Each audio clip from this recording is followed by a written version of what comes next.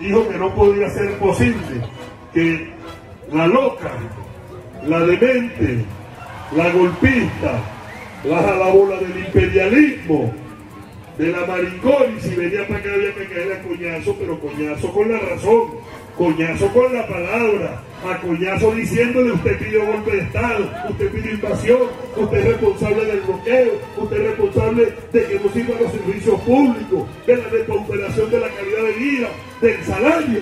Y entonces está como unos idiotas, pero el tercero que pediste un juicio. Qué pendejo, no, qué idiota. No jodas, te defendemos. Delitos cometidos Así por el que- gobernador así que- Instigación al odio con alevosía. Drama, violencia de género. No te soportamos.